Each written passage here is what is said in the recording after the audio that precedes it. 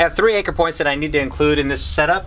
One, two, three, and I'm gonna run my cord through each of them before I anchor it down over here on the left-hand side.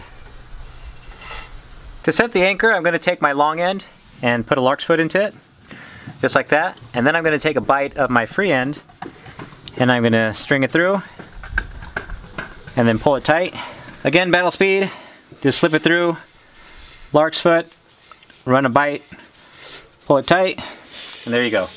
Now that's going to be plenty strong when I put it under tension. It's also going to be easy to undo when it's time to take this apart. Same method from before, got my cowabunga sign, gonna go around my pinky, then around my thumb, and what that gives me is a little loop inside of a big loop.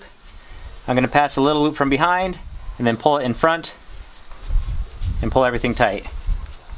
There we go. So the first time I showed you this, I had you take this free end and run it through this loop, and then run it all the way through, do another coil, run it all the way through, pull it tight. But a lot of you folks said, hey, what about all this extra rope you need to run through? Here's how to get past that. So you're gonna do the same exact thing. You're gonna take a bite and pull it through, right? You have all this extra here, but this is your tension side that you're dealing with. All you're gonna do is, with your tension side, same thing, run it through again, and then you're gonna pull this one tight.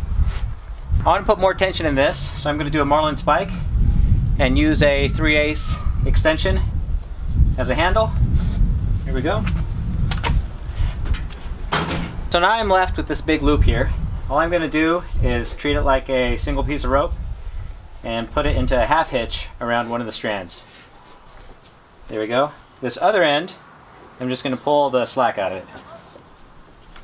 Of course, dress it up, make sure everything's nice. So that's how this looks. Just have a little loop here. And then if we follow this line down, you'll see that it's attached to all the paracord we need to figure out.